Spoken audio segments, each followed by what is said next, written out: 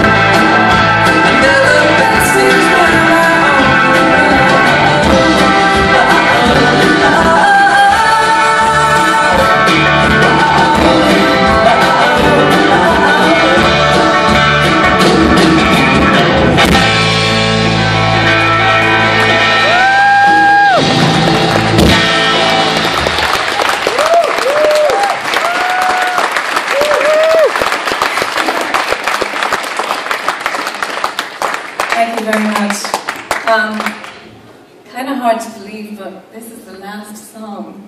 Oh. Oh, no. Well, I'm glad you just warned because that's kind of a good sign.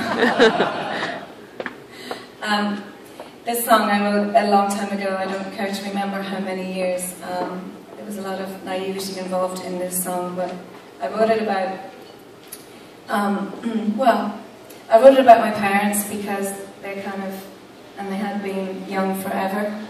And I love that about them that no matter how old they got, they were always young and inspired in their heart and how they approached life. And they, they, they continued to dream throughout their lives and then they passed on that whole idea to me and my siblings that if you dream it's possible, then it is possible.